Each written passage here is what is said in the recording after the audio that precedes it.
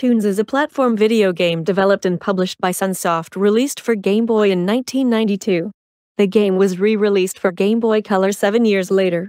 It features Daffy Duck, Tweety, Porky Pig, Taz, Speedy Gonzales, the Roadrunner and Bugs Bunny as playable characters.